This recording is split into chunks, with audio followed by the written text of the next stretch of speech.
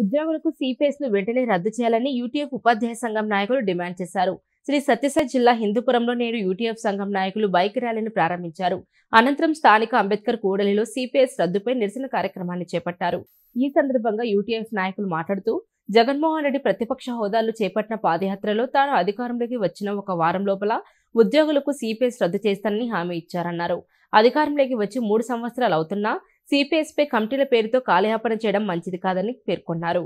ముఖ్యమంత్రి సలహాదారుడు సజ్జల రామకృష్ణారెడ్డి ద్వారా సిపిఎస్ రద్దు క్లిష్టమైన పరిస్థితిని ప్రకటిస్తూ ఉద్యోగులను మోసం చేస్తున్నారని మండిపడ్డారు.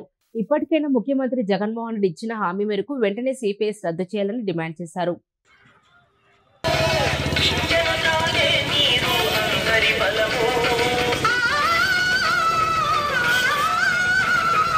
సిపిఎస్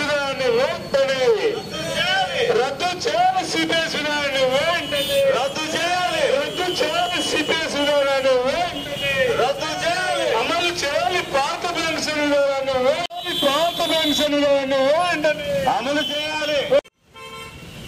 ఈ రాష్ట్ర ముఖ్యమంత్రి గారు అధికారంలోకి వచ్చిన వారం రోజుల సిపిఎస్ రద్దు చేస్తాను. ఉద్యోగులకి ఉపాధ్యాయులందరికీ మేలు చేస్తానని చెప్పి మూడు సంవత్సరాలు గడిచినా కానీ ఇచ్చిన హామీ నెరవేర్చడం లేదు. పైగా ఇప్పుడు అవగాహన లేదంటున్నారు కొందరు. ఏదో ఫ్లోలో చెప్పాడు అంటున్నారు మరి కొందరు. అట్లా కాదు అసలైనటువంటి వ్యక్తి మాట్లాడడం లేదు.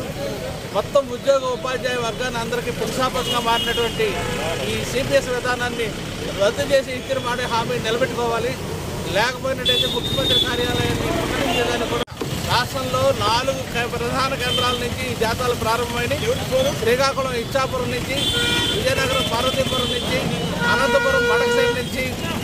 చిత్తూరు మదనపల్లి నుంచి నాలుగు జాతాలు ప్రారంభమైనవి ఈ నాలుగు జాతాలు కూడా ఆయా జిల్లాల గుండా ప్రయాణించి ఉద్యోగుల్ని ఉపాధ్యాయుల్ని అందరినీ కూడా ఎడ్యుకేట్ చేస్తుంది.